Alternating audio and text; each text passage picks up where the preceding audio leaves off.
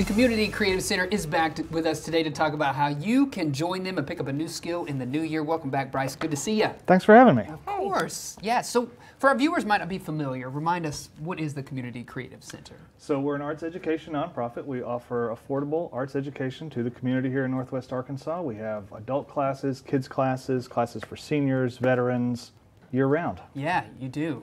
You specialize in pottery. Am I, am I, I right about that? I that? do. Okay, so you brought kind of like, I don't know if we want to call it the, the life cycle of a, of a mug. That's a great way to explain it. Yeah, this is this is all the way through. Okay. Yeah. So what do you start with over there? That's clay. This is just a lump of clay, so this is one of the things you could learn um, in our upcoming classes this year is, is to take raw clay, which is is sort of soft and mushy.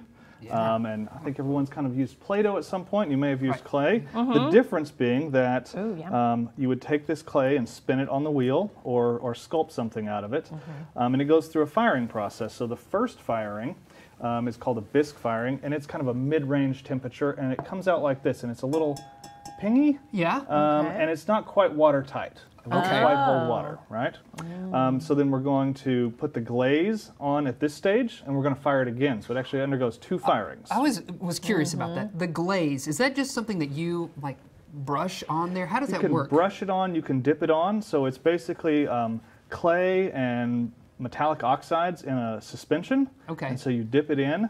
Um, and that's actually the point of the bisqueware is the glaze sticks to that. okay. And then you fire it again at a higher temperature, and it comes out as Look at that. ware. Like That was a beautiful. Not not quite as pingy as you described it. Right, Right. right. Yes.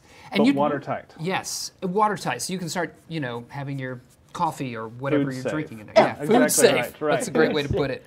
Um, you teach these classes all the time there, yeah? Year round, we have six week classes. Um, we have weekend workshops um, in pottery, painting, drawing, leatherworking, metal sand casting. A new addition this year is sewing. We Okay. just uh, purchased some sewing machines, so we're offering sewing and quilting classes. I need that skill. Yeah, super fun.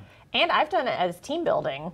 Oh, we have a ton Like of team building stuff. parties. Yeah. Absolutely. Co- uh, we've made coffee mugs and, and different things. you, I made a snowman. I mean, this is the start. honestly, I'm just like, this is what I've done. Yes. And you have made an art I just, and craft I mean, project. it's just three three balls, three Okay. spheres. Well, anyway, I I it's really fun to figure out how um, to you know to, to learn something new and make like a, m- put a handle on a mug. Right.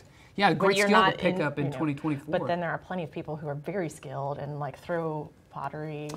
Well, you know, we wheel. say um, all you really need is a good attitude and willingness to jump in. Um, it's we set the barrier to entry very low, so we we provide all the supplies and materials with the cost of tuition. So all you have to do is show up, be ready to make art, and classes start on January 8th. Okay. Uh, we have classes year round, but our next six-week session will be starting January 8th. and you offer several different. It's not just pottery, but it's Oh, several no, other we things. have painting, drawing, sewing, printmaking, uh, a full range of art classes Right. for adults, kids, seniors, and veterans. Okay, so you're a creative and you're an artist. If you were to pick up a new skill in Mm. 2024, which of these classes would you choose to to, to take? I, w- I would really like to take the sewing class. Yeah? Yeah, I think that would be fun. yes. Same. What about you? Do you have one that Yes. you pick? I don't know, maybe pottery. I mean, I, I've tried this a few times. We've gone out and done some segments, and I'm always just really bad. Yeah. So um, putting it on the wheel, you know, there's something fun about that. But Because like, you want to do the ghost scene. Right, I want to do the ghost scene.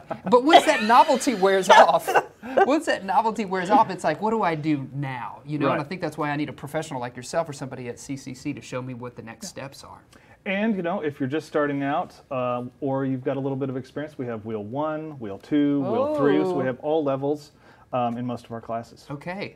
Well, thank you for joining us and filling us in on all of those great opportunities for folks to get involved with CCC coming up in 2024.